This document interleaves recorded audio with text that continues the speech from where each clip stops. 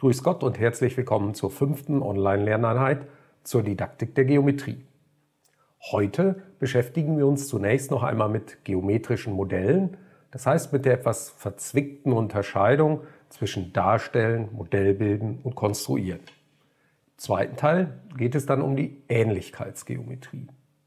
Dort werden wir uns ansehen, was es mit Ähnlichkeit und mit den Strahlensätzen auf sich hat und wir beschäftigen uns auch mit dem Satz von Pythagoras und mit der Kreismessung. Im dritten Teil geht es dann um die Körper, also um räumliche Geometrie oder wenn Sie sich vornehm ausdrücken wollen, um Stereometrie. Es wird dort unter anderem um räumliche Vorstellung gehen, es wird um Körperbegriffe, also die Bezeichnung für geometrische Körper gehen und es wird schließlich um Volumensberechnungen gehen. Ich erinnere zu Beginn nochmal an die Lehrstoffangabe bzw. an den Teil davon, der heute Thema ist. Zuvor, wie angekündigt, aber noch der Versuch, das, was ich in der zweiten Lektion zu geometrischen Modellen gesagt habe, mit dem Lehrplan und den Standards in Einklang zu bringen. Für das Erstellen geometrischer Modelle dreidimensionaler Objekte verwendet die Lehrstoffangabe insgesamt vier verschiedene Formulierungen. Skizzen soll man anfertigen. Zeichengeräte zum Konstruieren von Schrägrissen gebrauchen, Maßstabszeichnungen anfertigen und Gegenstände, die wie Prismen oder Pyramiden ausschauen, soll man zeichnerisch darstellen. Jetzt kann man sagen, da haben die Lehrplanerstellenden halt den Thesaurus angeworfen, damit da nicht immer dasselbe Verb steht. Oder man vermutet unterschiedliche Aktivitäten hinter den jeweils unterschiedlichen Formulierungen. Dem Erstellen geometrischer Modelle sind in den Standards M8 jedenfalls verschiedene Handlungen zugeordnet. Modellbilden wird im Wesentlichen so verstanden, dass zu realen Gegenständen erst geometrische Modelle, also vereinfachte geometrische Modelle gesucht werden und gegebenenfalls dann auch zeichnerisch zu Papier gebracht. Darstellen meint dieses zu Papier bringen geometrischer Modelle. Der Schwerpunkt liegt dabei, mit Parsüß gesagt, auf der Zeichnung, nicht auf der Figur. Also der Schwerpunkt liegt auf der Zeichnung. Die geometrischen Figuren werden dabei allerdings als Gestaltungselemente benutzt. Wobei eben immer nur Annäherungen an die ideal gedachten Figuren zustande kommen. Konstruieren ist dann eigentlich ein Spezialfall von Darstellen. Wir wählen spezielle, uns gut bekannte Werkzeuge aus und verwenden diese auch nur nach ausgewählten Regeln. Die Konstruktion ist dann immer mehr als nur die Zeichnung. Es ist der ganze Prozess im Blick und muss gegebenenfalls auch dazu notiert werden, weil wir aus den in der Konstruktion genutzten Zusammenhängen von Teilelementen der Figuren, die wir da dargestellt haben, dann auch auf neue Zusammenhänge schließen wollen, also Sätze finden und begründen. Wir können geometrische Modelle aber auch nur zeichnen, skizzieren, sogar ganz ohne Werkzeuge. Das sind dann aber eher keine Konstruktionen. Vielleicht erinnern Sie sich noch an dieses Bild aus der zweiten Lektion. Beim Modellbilden geht es vor allem darum, sich ein geometrisch strukturiertes Bild von der Welt um uns zu machen. Beim Darstellen nutzen wir gedachte ideale Figuren, um strukturierte Zeichnungen zu erstellen. Beim Konstruieren sind die Figuren dann selbst Studienobjekt. Wir erstellen zwar auch Zeichnungen, aber an diesen wollen wir, anders als beim Modellbilden, nicht etwas über die Welt um uns erfahren, sondern über die Figuren als ideale Objekte in unseren Köpfen. Ein Thema, das eng mit dem Darstellen verbunden ist, aber auch Bezüge zum Argumentieren und Begründen hat, ist das Thema Ähnlichkeit. Das erste Mal begegnen Lernende dem Thema indirekt bei Maßstabszeichnungen. Maßstäbliches formtreues Verkleinern bzw. Vergrößern von Zeichnungen und Figuren wären nämlich ohne Ähnlichkeit gar nicht möglich. Wirklich Thema ist die Ähnlichkeit dann in der dritten Klasse. Da Ähnlichkeit eine Verallgemeinerung von Kongruenz darstellt, ist vielleicht nicht verwunderlich, dass es auch hier wieder zwei Zugänge gibt.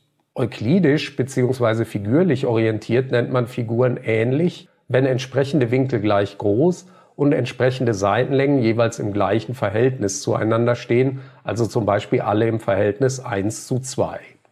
Nicht gut zum aktuellen Curriculum passt die Bestimmung über Ähnlichkeitsabbildung. Sie ist hier auch nicht ganz so eingängig wie bei der Kongruenz als Deckungsgleichheit.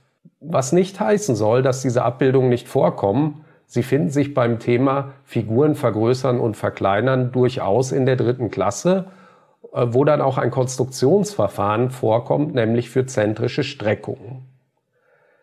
Die Basis eines figürlichen Zugangs zur Ähnlichkeit stellen die Strahlensätze dar.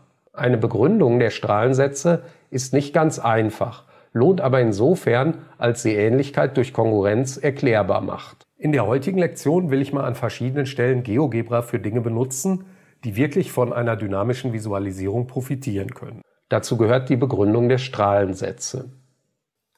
Ich fange mit einem einfachen Fall an.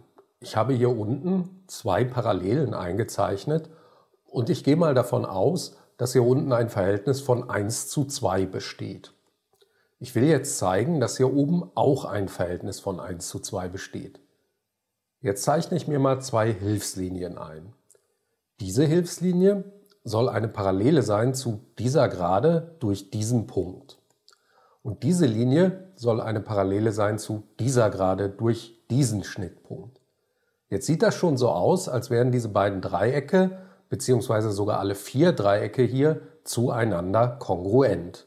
Und dann wäre ich schon fertig, weil dann hätte ich hier oben wieder 1 zu 2, weil ich habe ja zwei kongruente Dreiecke da. Und bei kongruenten Dreiecken wären ja diese beiden Strecken gleich lang, also das Verhältnis insgesamt 1 zu 2. Ich zeige Ihnen jetzt die Beweisfigur. Und da würde ich jetzt sagen, die sind kongruent, die Dreiecke, nach Winkel, Seite, Winkel. Weil diese Winkel hier sind Stufenwinkel an geschnittenen Parallelen. Also kongruent, weil die Geraden sollen ja gerade parallel sein beim Strahlensatz. Außerdem weiß ich, dass diese Strecke genauso lang ist wie diese Strecke, weil was hier unten entsteht, ist ein Parallelogramm. Und hier habe ich auch wieder Stufenwinkel an geschnittenen Parallelen, die sind also auch kongruent. Also sind die gelben Dreiecke hier wirklich insgesamt kongruent nach Winkel, Seite, Winkel. Wenn also unten das Teilungsverhältnis 1 zu 2 war, muss es das hier oben auch sein, weil da eben zwei kongruente Dreiecke drin liegen und somit die Teilstrecken beide gleich lang sind. So, jetzt ändere ich das mal hier unten. Ich mache hier mal ein anderes Teilerverhältnis. Jetzt hätte ich das Teilerverhältnis 1 zu 6. Da kann ich aber genau dasselbe Spiel machen. Ich habe nur einfach mehr Parallelen und mehr Dreiecke. So, jetzt will ich vielleicht auch nicht 1 zu 6 haben. Ich könnte hier zum Beispiel auch 3 zu 6 einstellen. Äh, Moment, das wäre ja wieder 1 zu 2. Also sagen wir mal 5 zu 6 oder, oder, oder. Ich kann das immer weitermachen. Im Prinzip ist das für alle Bruchzahlen möglich. Das wird dann halt irgendwann unübersichtlich, weil das wird sehr klein bei großem Nenner. Eine Sache bekomme ich so jetzt nicht in den Griff, das wären die irrationalen bzw. inkommensurablen Teilungsverhältnisse. Das ist hier aber auch noch nicht so schlimm, weil die Lernenden die irrationalen Zahlen an dieser Stelle ohnehin noch nicht kennen. Außerdem könnte man ja selbst bei irrationalen Zahlen die wieder durch rationale Zahlen einschachteln und dann würde das Argument, so wie es bei 1 zu 2 und bei 5 zu 6 und bei den ganzen anderen Kombinationen jetzt gesehen haben, approximativ eben immer noch stimmen. Und zur Erinnerung, das war jetzt nicht die Universitätsvorlesung Elementargeometrie. Genau diese Begründung, die ich Ihnen eben gezeigt habe, gibt Frau Kracker in ihrem Schulbuch den Lernenden sogar zur gegenseitigen Erläuterung in eine Partnerarbeit hinein. Ebenso wie es Kongruenz als definierte Eigenschaft und Kongruenzsätze als zu beweisende Sätze gibt, gibt es auch Ähnlichkeitssätze, die man auf die Strahlensätze zurückführen kann. Nochmal zur Unterscheidung. Definitionsgemäß sind zwei Dreiecke ähnlich, wenn alle entsprechenden Seitenverhältnisse und alle Winkelgrößen gleich sind. Dass die Dreiecke sogar schon ähnlich sind, wenn nur die Winkel übereinstimmen, man also gar nicht mehr auf die Seiten schauen muss, ist hingegen ein Satz. Strahlensätze und Ähnlichkeit sind einerseits dann wieder wichtige heuristische Hilfsmittel zum Begründen, andererseits haben sie auch ganz praktische Anwendungen. Die oberen Anwendungen finden Sie auch heute noch in vielen Schulbüchern. Die ersten beiden Geräte nutzen den zweiten Strahlensatz, um die Skalen da anzubringen, wo sie vergrößert abgebildet werden können.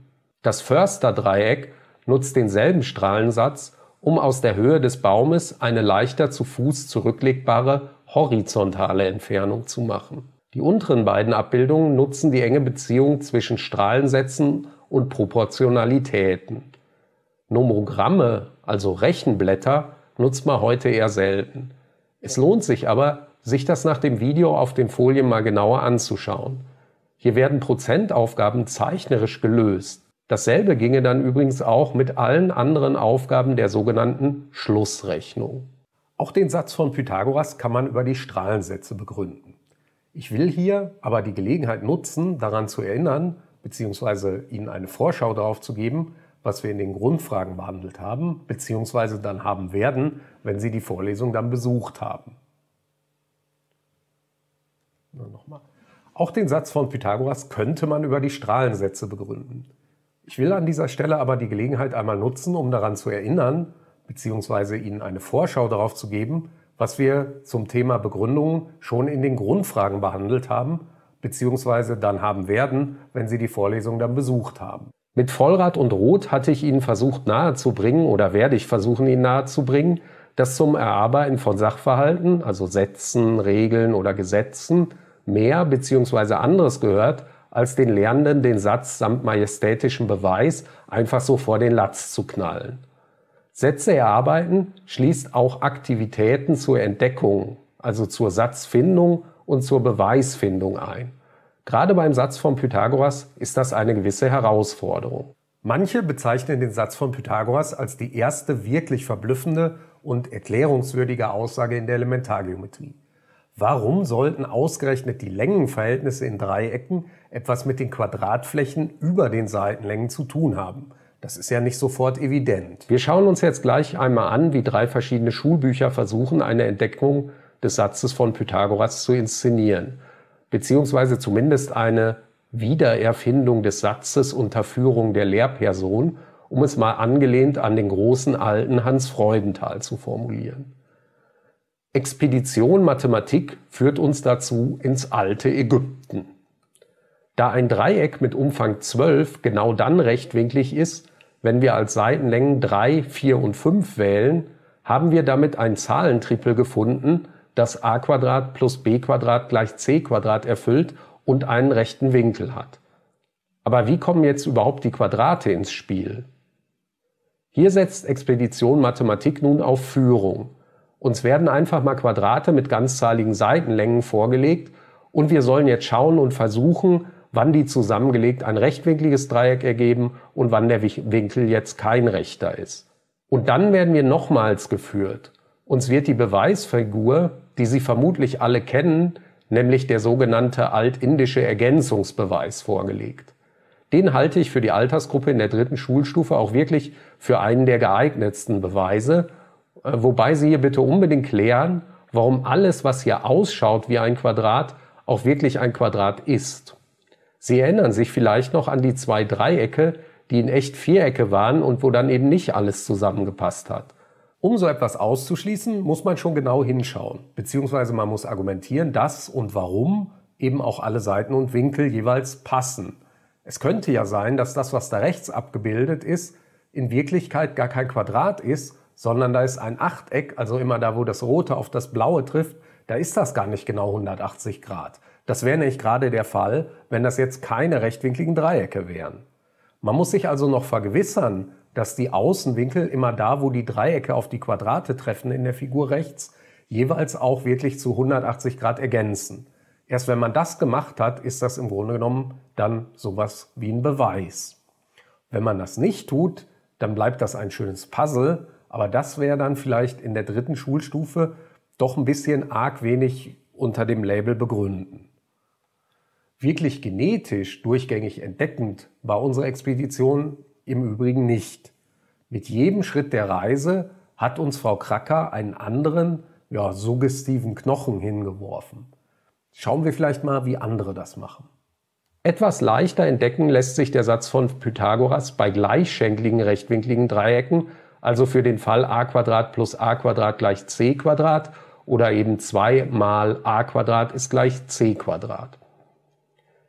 Hier finden wir das Ganze eingekleidet als die Frage, wie lang man die Dachspannen machen muss, wenn der Giebel eines Hauses 8 Meter breit und der Giebelwinkel ein rechter Winkel sein soll. Die entsprechende Länge wird dann zunächst zeichnerisch mit Hilfe des Satzes von Thales ermittelt. Anschließend wird sie rechnerisch über einen Zerlegungsbeweis und die Quadratwurzel ermittelt.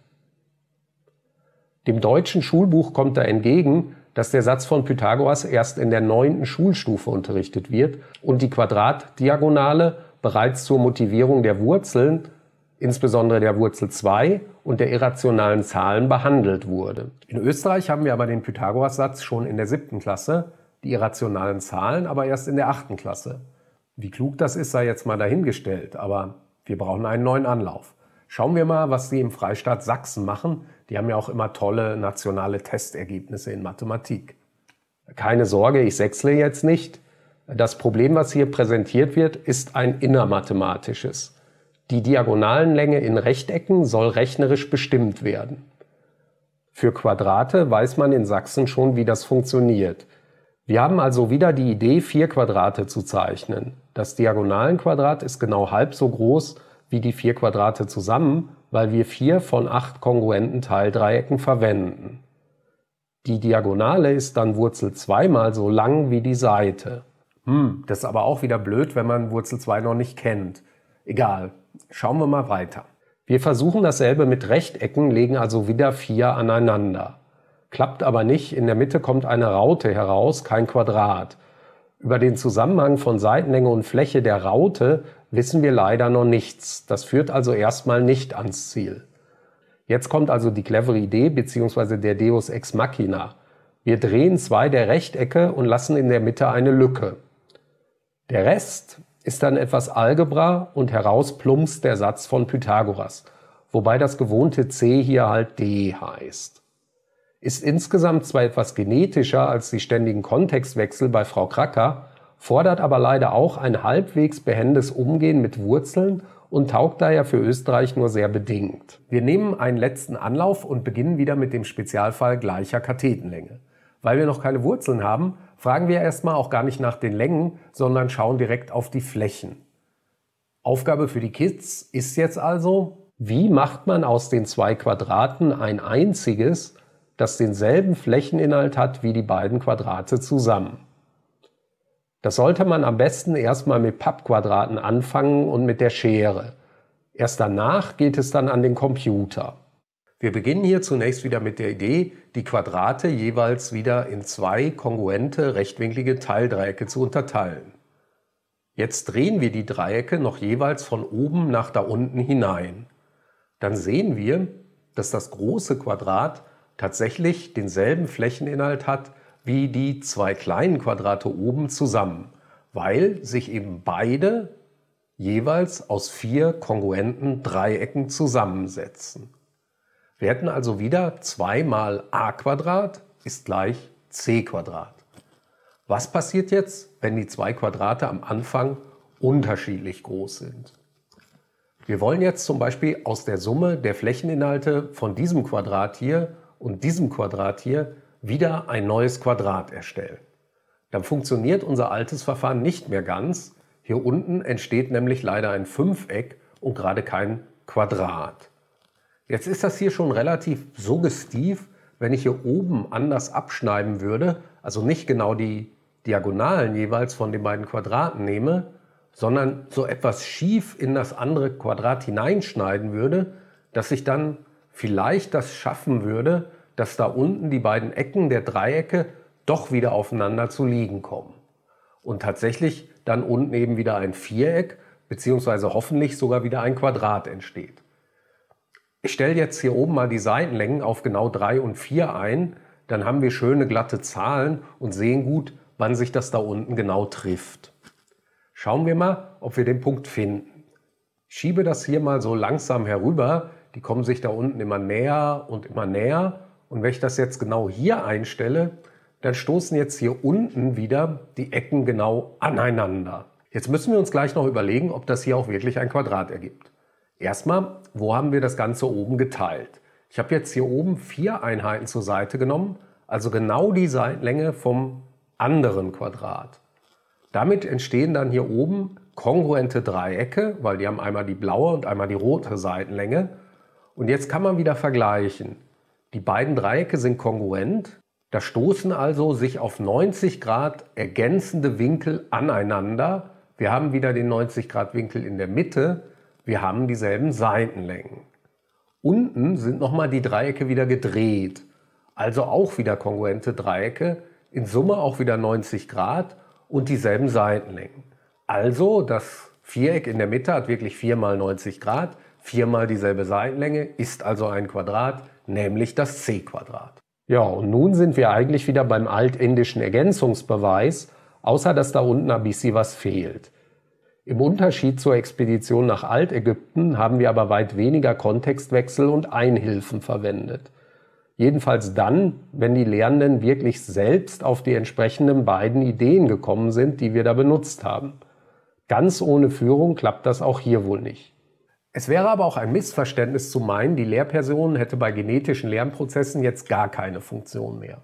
Nicht reden möchte ich heute über den klassischen Beweis der Satzgruppe, über Strahlensätze bzw. ähnliche Teildreiecke. Bei mir ist er im Skript zur Elementargeometrie drin, ich gebe Ihnen den in die Folien hier hinein, falls Herr Kadons den nicht sowieso auch gemacht hat. Und über die Umkehrung rede ich aus Zeitgründen auch nicht wirklich weiter. Es sind aber zwei Schulbuchbegründungen in den Folien enthalten. Die erste hier ist aber für die siebte Klasse eher ungeeignet. Die hier, die zweite, die kann man vielleicht schon eher benutzen. Schauen Sie sich das mal in Ruhe noch durch. Und nun ist es wieder Zeit für einen kurzen Zwischentest.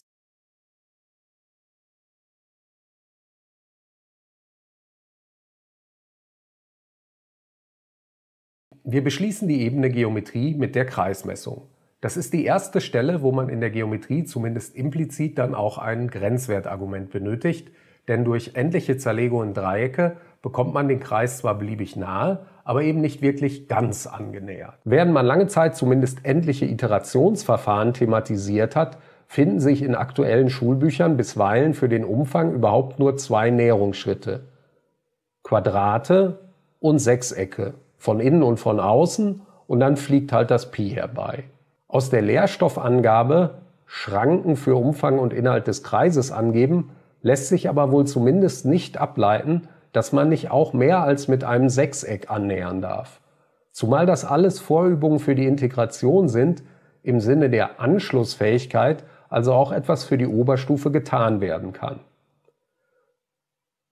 Das Mindeste, was Sie hier tun können, ist die traditionelle archimedische Näherung durch 2 hoch n Ecke mit DGS herzuzeigen. Eine Iteration wird daraus aber erst, wenn Sie sich fragen, wie man zum Beispiel aus den bekannten Maßen für das, sagen wir mal, Achteck auf die Maße für das 16-Eck kommen kann. Und da brauchen Sie dann in der Tat auch wieder den Pythagoras bzw. die Kathetensätze. Ich gebe Ihnen da die Herleitung mal auf die Folie, erkläre die aber hier nicht im Einzelnen. Hat man die Formeln erstmal, könnte man jetzt die Zahlenrechnerei bei der Iteration zum Beispiel auch wieder sehr gut an eine Tabellenkalkulation weitergeben. Die wäre in GeoGebra sogar direkt eingebaut. Ich war da jetzt nur zu faul, das jetzt auch noch in meine Animation mit hereinzunehmen. Okay, jetzt aber Flux in den R3 gewechselt. Da führt jetzt kein Weg vorbei. Wir müssen uns den Raum anschauen, beziehungsweise wir müssen ihn uns sogar vorstellen. Ich hatte ja in Lektion 1 so etwas herumgespöttelt, dass Raumvorstellung so eine Art Joker ist, den, wo man immer hervorholt, wenn jetzt mal Not am Mann ist, wenn man den Geometrieunterricht legitimieren will. Und irgendwie findet Raumvorstellung, Raumanschauung eh jeder gut, aber alle meinen so ein bisschen was anderes. Jedenfalls gibt es da auch einiges zu in der Intelligenzforschung und in der Psychologie. Einiges davon ist auch schon recht alt, einiges ist schon wieder überholt und nicht alles hat jetzt wirklich ganz konkrete Bezüge zum Mathematikunterricht im engeren Sinn. Lange Rede, kurzer Sinn, ganz gut gefällt mir das Vier-Faktoren-Modell, das sich die Arbeitsgemeinschaft Didaktische Innovation für Geometrie ausgedacht hat. Das gefällt mir sogar so gut, dass ich Ihnen das diesmal in die Pflichtlektüre hereingebe. Der Kollege Thomas Müller aus Wien hat da vor drei Jahren einen schönen Lehrerfortbildungsvortrag zu gehalten und den gebe ich Ihnen jetzt einfach mal so mehr oder weniger direkt zum Lesen auf. So, was ist denn jetzt konkret im Mathematikunterricht angesagt? In der ersten Klasse steht da vor allem der Vorstellungsaufbau im Vordergrund. Körper sollen in Bildern und Zeichnungen wahrgenommen und mit mathematischen Bezeichnungen beschrieben werden, sowas wie Ecke, Fläche und Kante. Für Quader und Würfel kommt dann auch schon das Anfertigen von Schrägrissen dazu. Konstruiert im engeren Sinne wird hier eher noch nicht. Es wird so etwas hemdsärmlich das Koordinatengitter verwendet, ohne dass man jetzt wirklich näher auf die Hintergründe der Darstellung eingehen würde. Das passiert eher in GZ, wo man dann auch lernt, dass die Risse allesamt Parallelprojektionen sind, die zwar nicht so anschaulich sind wie unserer unmittelbaren Raumwahrnehmung näher kommende Zentralprojektion, aber doch verhältnismäßig gute Kompromisse zwischen Maßtreue, eingeschränkter Formtreue und Einfachheit der zeichnerischen Darstellung und Anschaulichkeit geben. Trivial sind diese Darstellungen aber selbst für Würfel durchaus nicht, wie Sie diesen Zeichnungen aus einem Projekt von Hans-Georg Weigand entnehmen können. Sie müssen jetzt wieder bedenken, wenn da steht sechste Klasse, dann ist das sechste Schulstufe, also zweite Klasse in Ihrer Zählung. In der dritten Klasse in Österreich werden die Schrägrisse dann für Prismen und Pyramiden wieder aufgegriffen. Hier kann man dann auch von Konstruieren zumindest in dem Sinn reden, dass ein regelgeleiteter Umgang mit ausgewählten Zeichengeräten stattfindet. Zudem wird man sich das Bauprinzip dieser Darstellung näher ansehen, wobei dann auch die idealen Figuren im Hintergrund mitbedacht werden müssen. Anders als beim Haus der Vierecke spielen Beziehungen zwischen Körpern, insbesondere diese Ober- und Untermengenbildung, in der Raumgeometrie eine eher kleine Rolle. Der Kanon und die Abfolge sind hier in Deutschland und Österreich im Wesentlichen gleich. Würfel, Quader, dann Prisma, dann Pyramide, dann Drehzylinder und Drehkegel und schließlich die Kugel. Wobei hier Würfel Spezialfälle von Quadern sind und Quader selbst dann wieder Spezialfälle von Prismen. Der Rest ist aber wirklich eine echte Partition. Eine eher untergeordnete Rolle spielen im Übrigen auch die regulären platonischen Körper, die man als Verallgemeinerung des Würfels auffassen kann, eben für andere reguläre Vielecke als Seitenflächen und die damit auch einen gewissen Reiz hätten. Als Grundobjekte zur Beschreibung alltäglicher Gegenstände mag man aber mit den Körpern auf der vorigen Folie in der Tat deutlich mehr anfangen. Das Hauptaugenmerk des Lehrplans liegt bei den Körpern ohne Frage auf den Volumens- und Oberflächenberechnungen. Würfel und Quader dienen dabei bei der Volumensberechnung vor allem einmal der Begriffsbildung, was ist eigentlich das Volumen. Analog zur Fläche wird durch Einheitsfiguren, in diesem Fall Einheitswürfel, ausgelegt. Mit der Idee der Zerlegung in Dreieckiges, die wir von den Flächeninhalten schon gewohnt sind, erhalten wir dann auch Formeln für das Volumen von Prismen. Tatsächlich trägt die Idee der Zerlegung auch noch teilweise für Pyramiden, jedenfalls solange man unterstellt, dass deren Volumen eigentlich nur von deren Grundfläche und deren Höhe abhängen kann. Man arbeitet da entweder mit Modellen oder wie wir hier jetzt ersatzweise dann mit dynamischer Geometrie. In diesem Bild haben die rote und die blaue Pyramide genau dieselbe Grundfläche des umgebenden Prismas, ebenso dieselbe Höhe. Die beiden Teilkörper sind also kongruent. Ich kann das auch mal ein bisschen drehen, damit Sie das besser sehen.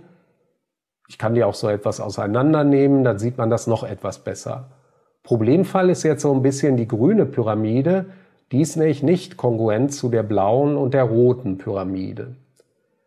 Ich drehe das Ganze jetzt mal auf die Seite und mache die blaue Pyramide weg dann können Sie sehen, dass die rote und die grüne Pyramide zwar nicht kongruent sind, aber jedenfalls doch wieder die gleiche Grundfläche in dieser anderen Drehung haben und dann eben auch wieder dieselbe Höhe.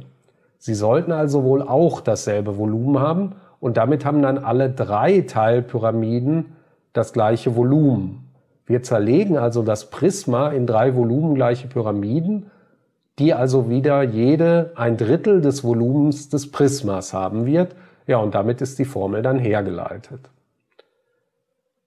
Eine Alternative zu dieser auch in Schulbüchern zu findenden Argumentation, schauen Sie mal unten, das sind genau unsere Prismen und Pyramiden von vorhin, ist dann noch Schüttversuche zu benutzen.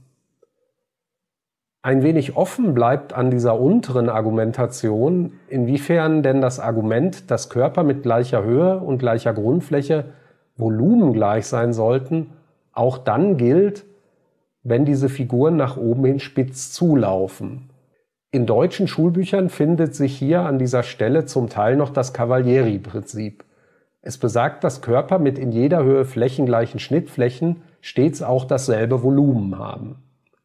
Anschaulich macht man sich das zunächst am besten am Vergleich gerader und schiefer Körper. Ich kippe hier mal den rechten Körper. Jetzt passen diese kleinen Teilquader da nicht mehr genau hinein, aber annähernd sollte der eigentlich dasselbe Volumen haben wie der gerade Quader auf der linken Seite. Ich könnte die Quader aber jetzt dünner und dünner machen, bis ich schließlich bei Flächen bin. Dann würden aber beide Körper, der gerade und der schiefe, aus unendlich dünnen Quadern bestehen, und zwar genau aus gleich vielen und auch aus kongruenten, und damit sollte dasselbe Volumen da sein für diese beiden Körper. Ja, und das ist dann genau das, was auch der Satz von Cavalieri sagt. Nämlich umgekehrt argumentiert, wenn zwei Körper in jeder Höhe flächengleiche Schnittflächen haben, dann stimmt auch das Volumen der beiden Körper überein. Wir gehen nochmal zur roten und grünen Pyramide von vorhin zurück. Wegen dem zweiten Strahlensatz müssen die beiden in jeder Höhe flächengleiche Schnittflächen haben, also sind sie wirklich volumengleich. Spätestens beim Volumen des Zylinders brauchen wir ein Näherungsargument zwingend. Ohne Cavalieri-Prinzip könnten wir wieder durch Dreiecksprismen annähern. Wir wiederholen da eigentlich nur nochmal die Zerlegung der Kreisfläche. Wobei dieses Zerlegen zu Tortenstücken, die dann wieder zu einem annähernd quaderförmigen Gebilde zusammengelegt werden, eine wirklich ganz nette Variante darstellt, die sehr anschaulich ist. Dasselbe Spiel wiederholt sich mit Pyramiden als Näherungsfiguren, dann noch für die Drehkegel. Eleganter ist auch hier die direkte Argumentation mit dem Cavalieri-Prinzip. Wir geben zu einem Kegel eine Pyramide dazu, deren Grundfläche genauso groß wie die Kreisfläche sein soll. Wegen dem zweiten Strahlensatz haben jetzt beide Körper wieder in jeder Höhe jeweils gleich große Schnittflächen, sind also volumengleich. Also hat auch der Kegel die Volumenformel ein Drittel Grundfläche mal Höhe. Um zum Schluss zu kommen. Spätestens dann, wenn Sie einsehen wollen, wie eigentlich die Formel für das Kugelvolumen zustande kommt, aber eben gerade keine Korrotationskörper und keine Integralrechnung verwenden wollen, kommen Sie nicht mehr ohne Cavalieri-Prinzip aus. Hier leihe ich mir mal ausnahmsweise eine fertige Animation von GeoGebra Tube aus und mache das nicht selber. Das Argument ist hier ein bisschen finkliger. Wir nehmen erstmal einen Zylinder, der ist genauso hoch wie eine Halbkugel und hat dieselbe Grundfläche. Jetzt schneiden wir aus diesem Zylinder einen Drehkegel heraus und betrachten jetzt den Restkörper. Der Restkörper hat zwei Drittel Grundkreisfläche mal höher als Volumen, weil drei Drittel war der Zylinder und ein Drittel war der Kegel, der Rest ist also zwei Drittel. Zudem ist tatsächlich in jeder Höhe die Schnittfläche der Kugel genauso groß wie der Kreisring rechts. Ja, da muss man wirklich noch ein bisschen was argumentieren oder man glaubt das dem GeoGebra einfach. Sie sollen das natürlich nicht dem GeoGebra glauben, Sie sollen das mal nachrechnen, warum das stimmt. So, damit hat jetzt die Halbkugel aber genau dasselbe Volumen wie dieser Restkörper, also zwei Drittel Kreisfläche mal Höhe und die gesamte Kugel hat dann die berühmten vier Drittel Kreisfläche mal Höhe. Und damit habe ich wieder Feierabend. Sie haben den Abschlusstest. Viel Erfolg!